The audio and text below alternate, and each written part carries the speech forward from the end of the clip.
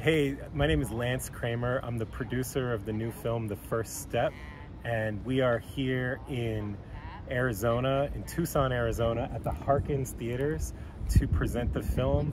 We've been running all around the country, partnering with amazing organizations working on bipartisan criminal justice reform and bridge building more broadly to share the film, shine a spotlight on the incredible work that they're doing across the country to find bipartisan solutions to solve some of our most intractable problems, like the criminal justice system.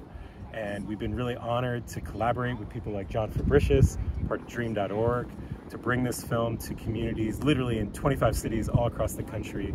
Um, John, we just finished screening the film. Tell us a little bit about how it went. Yeah, my name is John Fabricius. I am with Dream.org and Arizonans for Transparency and Accountability and Corrections here locally in Arizona.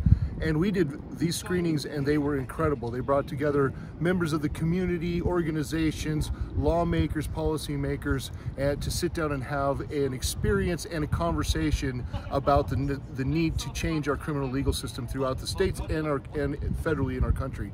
Incredible events. If you want to uh, have real reform, if you want to really move the needle, you need to have these type of events. They are incredible. So if you want to find out more, check out at First Step Movie on Instagram, Facebook, and Twitter.